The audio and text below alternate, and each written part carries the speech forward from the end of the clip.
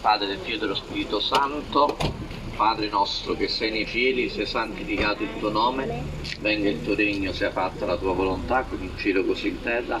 Dacci oggi il nostro pane quotidiano e rimetti a noi i nostri debiti, come anche noi li rimettiamo ai nostri debitori, e non abbandonarci nella tentazione, ma liberaci dal male. Santi Pietro e Paolo, ci benedica Dio Onnipotente, Padre, Figlio e Spirito Santo. E così sia.